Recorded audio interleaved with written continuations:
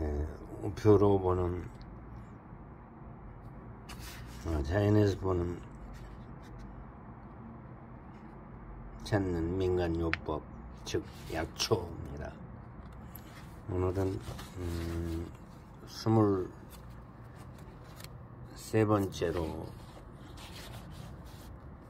음, 뽕나무를 보겠습니다. 뽕나무는 혁명, 생혁명은 상지고 뽕나무 가지, 낙엽 곁겨목으로 3, 7m 성숙이 6월 재배환경은 산재지 재생이고요. 수확 건조는 10월 10일에 말려서 사용을 합니다.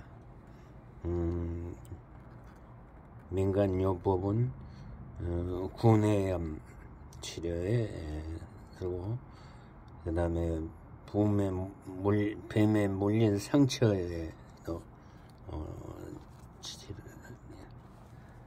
치료합니다. 음,